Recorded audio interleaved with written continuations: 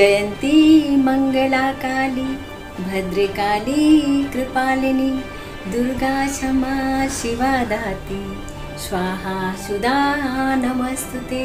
नमस्कार, मैं रूपा शर्मा जन सेवा लोकप्रिय समिति संस्था की फाउंडर और इस नवरात्रि में जनसेवा की तरफ़ से हिंदुस्तान के कोने कोने में सेवा पहुँच रही है और सेवा की जा रही है। मैं नहीं कर रही हूँ ये सब, जनसेवा के साथ लोग जुड़ के ये सेवाएँ दे रहे हैं।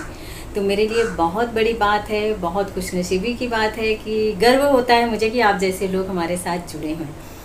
और आपको सबसे बड़ा सरप्राइज़ तो मैं अभी दे रही हूँ कि जन सेवा के कार्यों को देखते हुए और जन सेवा की सच्ची सेवा को देखते हुए हिंदुस्तान के कुछ ऐसी महिलाएँ जिन्होंने अपने दम पे मुकाम बनाया है और एक अच्छे पोस्ट पे, अच्छे लेवल पे खड़े होकर जनसेवा के साथ सेवा करने के लिए आ रही हैं। और अष्टमी या नवमी ये दो दिन में ये लोग यहाँ पे आ रही हैं, हमारे माता रानी का श्रृंगार देखने और दर्शन करने और सेवा भी दे रही हैं। तो हम आपको उनका परिचय और नाम बता रहे हैं। राजस्थान से सिंचाई विभाग में हैं शरला राजपुरोहित जी। आपको शरला राजपुरोहित जी को थोड़ी सा मैं थोड़ा सा डिटेल बताना चाहती हूँ कि ये एक छोटे से गाँव से हैं और आज भी इतने बड़े पोस्ट पे होके वो अपने संस्कृति, अपने संस्कार और अपने समाज के साथ में खड़े होकर काम कर रही हैं। तो ये हमारे लिए बहुत बड़े गर्व की बात है कि राजस्थानी जो रिवाज होते हैं तो उसमें वो घूंघट भी लेती हैं और लोगों की सेवा भी करती हैं और जो एक परिवार के साथ समर्पित समर्पित होते हैं और ऐसा अपने परिवार को भी टाइम दे रही हैं। तो इनके लिए मैं इनको शुभकामनाएँ देती हूँ और ये अष्टमी के दिन आने वाली हैं। इन्होंने मुझे कॉल किया कि रूपा जी हम आपकी सेवा देखते हैं हमें बहुत अच्छा लगता है और मैं आपके साथ जुड़ के आ, सेवा करना चाहती हूँ और सबसे पहले कि आपकी माता रानी ने मुझे मोह लिया है। उनका श्रृंगार देखने हम आएँगे।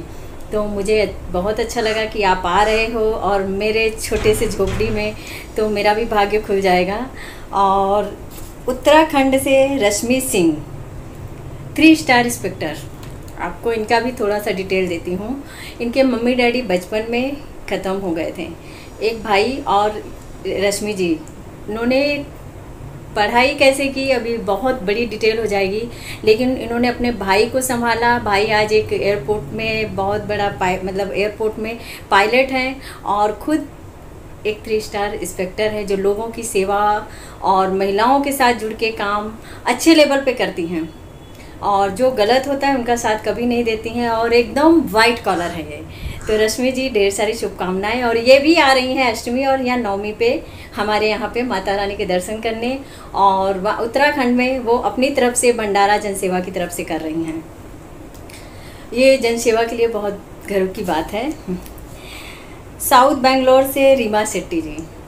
इनकी भी छोटा सा मैं इनका भी इंट्रोडक्स इन, इनका भी बताना चाहूँगी कि इन्होंने कैसे लाइफ को शुरू किया है। ये शादी इनकी हुई और शादी के बाद इनके हस्बैंड इनको छोड़ के चले जाते हैं। और ये हैं मेडिकल कॉलेज की डायरेक्टर और डॉक्टर भी हैं। इन्होंने फिर उसके बाद पढ़ाई तो की थी, फिर वापस से पढ़ाई शुरू की। लोगों से लड़ा भी अपने समाज को जवाब दिया और उसके बाद उन्होंने अमेरिका जाके पढ़ाई कंप्लीट करके आने के बाद बेंगलोर में इन्होंने अपना हॉस्पिटल खोला, मेडिकल कॉलेज किया और फ्री सेवा, जिसके पास कोई तकलीफ़ है, प्रॉब्लम है, उनके लिए वो फ्री करती हैं। और मेरे लिए बहुत बड़ी बात है कि आप भी हमारे पास आ रहे हैं, हमारे छोटे से गरीब खाने में आ रहे हो, दर्शन करने माता जी के और जनसेवा के साथ जुड़ के कार्य करना चाहते हो तो मुझे बहुत अच्छा लगा। Thank you so much Reema Shetty ji UP Uttar Pradesh से प्रतिमा पांडे एमबीबीएस डॉक्टर हैं ये। अब इनको हम, इनकी जितनी तारीफ़ करें, हम कम हैं। आ, इनके डैडी ने इनको पढ़ाया मम्मी शायद इनकी बचपन में डॉ डेथ हो गई थी और डैडी ने सब खेत वगैरह मतलब अपनी जो ज़मीनी था ज़मीन था वो बेच के इनको पढ़ाया। वो वहाँ से लंदन से पढ़ के आने के बाद इन्होंने शादी नहीं किया फोर्टी फाइव ईयर्स की हैं और सेवा और मेडिकल कॉलेज खोल के सबकी सेवा कर रही हैं। और पढ़ाई के लिए जिसके पास नहीं रहता है ये हमारे यूपी की हैं। कहते हैं कि यूपी में बहुत कम लोग ऐसे होते हैं जो सेवा भाव में एकदम लीन होते हैं। तो इनकी जो सेवा देख के ना मुझे बहुत अच्छा लगा और ये बहुत अच्छे काम कर रही हैं, कार्य कर रही हैं और ये भी नवमी और अष्टमी के दिन आ रही हैं। और कहते हैं ना कि जब आप सच्ची सेवा करते हो, सम्मान के भूखे नहीं हैं हम। सम्मान के भूखे नहीं हैं हम हम तो सेवादारी करते हैं। पहुँच सके हमारी सेवा ये दिल से वादा करते हैं। तो इनके लिए भी मैं इनको भी थैंक यू कहती हूँ और ये भी आ रही हैं माँ के दर्शन करने और जनसेवा के साथ जुड़ के कार्य करने के लिए। बिहार से सविता झा, इनकी हम छोटी सी दो शब्दों में लाइन कहने चाहेंगे कि ये 55 इयर्स की हैं और झारखंड मुजफ्फरपुर में ऐसा था तब के ज़माने में कि लड़कियाँ बाहर निकलती नहीं थीं।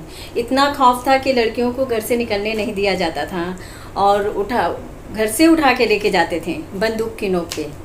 इन्होंने कई ऐसी लड़कियों को बचाया है और आज ये पढ़ी लिखी नहीं है, लेकिन इनके अंदर जो गुण है, वो हिंदुस्तान में नहीं, हिंदुस्तान के बाहर भी धमाल करके रखा है। कुर्सिया कुर्सिया का काम बुनाई का काम पेंटिंग का काम, साड़ी पेंटिंग बैग पेंटिंग मतलब इतने सारे मतलब इनकी जो ये का, सामान है, जो जो प्रोडक्ट ये बनाती हैं, उसको देख के तो दिल खुश हो जाता है। तो ये चीज़ करके उन्होंने अपने जीवन का सफ़र आगे किया और उसमें लोगों को जोड़ा। बहुत सारे लोगों के लिए प्रेरणा है और बहुत सारे लोगों का ये कार्य कर मतलब अपने साथ जुड़ के काम भी कर रही हैं और ये भी हमारे साथ जुड़ के कार्य करना चाहती हैं।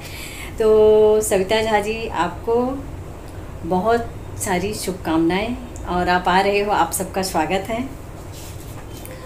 और बनारस यूपी से रंजना राय, ये लेडीज़ पुलिस इंस्पेक्टर हैं। इन्होंने पढ़ाई की उनके डैडी मम्मी मा, माता पिता ने बहुत मुश्किल से पढ़ाया। पढ़ाने के बाद ऐसा हो गया कि उनके पास दहेज देने के लिए पैसे नहीं थे और इनकी बारात वापस चली जाती है। ये छोटा सा एक औरत एक लड़की के लिए जब बारात वापस जाती है तो समाज का क्या बर्ताव होता है? लोगों का क्या बर्ताव होता है? लोगों के मतलब कितने ताने कितने सब कुछ सह के इन्होंने एक मतलब बहुत बड़े लेवल पे एक फोर स्टार लेडीज़ इंस्पेक्टर हैं ये। और इन्होंने फिर शादी नहीं की और उसके बाद सेवा में जुड़ गई कि मुझे ऐसे कम से कम हज़ारों लड़कियों की शादी इन्होंने कराई होगी।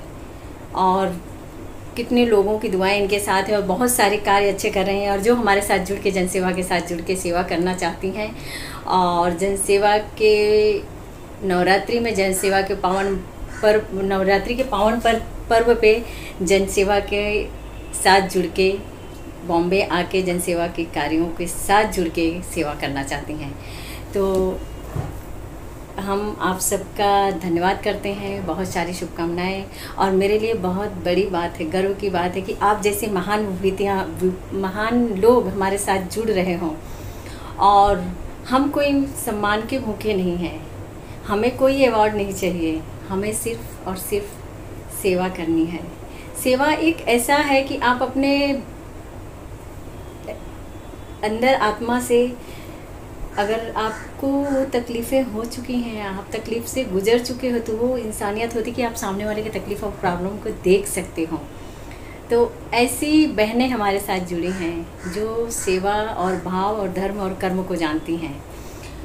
ऐसे तो बहुत से चेहरे हैं, जो दिखते कुछ और हैं, होते कुछ और हैं, और हम, हमें आपका प्यार और आशीर्वाद हमेशा मिलता रहे। जनसेवा आपके साथ हमेशा था, है और रहेगा। और फिर से नवरात्रि की ढेर सारी शुभकामनाएँ आपको। नमस्कार। Subscribe now and press the bell icon